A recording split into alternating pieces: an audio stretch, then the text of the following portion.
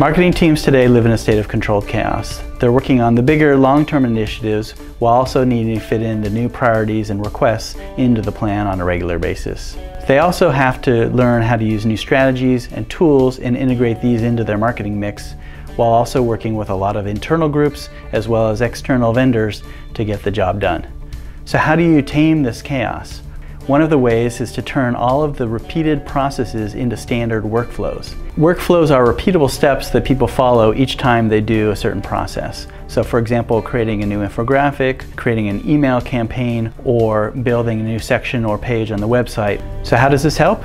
This helps because you know the timing, you know each of the steps, and you know who's accountable. And you can also get updates on where that deliverable is in the process at any given time. So for example, for our infographics, we have a standardized workflow. The first stage is the ideation and the decision making on what infographic we're going to produce. Then the second stage is the content production and research phase, where we develop all of the materials that will go into the infographic. The third stage is the review of that infographic. Is the content accurate? Is it compelling? After the review stage, it goes into the design stage where they take all of that information and turn it into something visually appealing. After that, we would do the approval process where is the infographic ready? Are there any issues with it? Are, are there any mistakes? Once it's approved, then we will promote it online.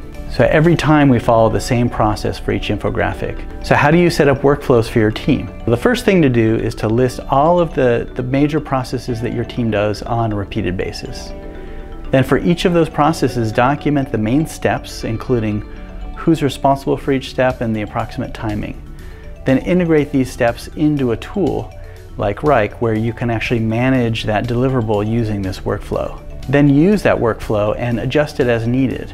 By using that workflow, you can also get updated on the status of that deliverable. So for example, you can avoid those status meetings or emails checking in on where this is in the process. So I hope you can see that workflows are a great way to allow your team to be more strategic as well as more creative because they don't really have to worry as much about the process side as well as who's accountable for each step. So I think you should give workflows a try for your team and let us know in the comments what you think.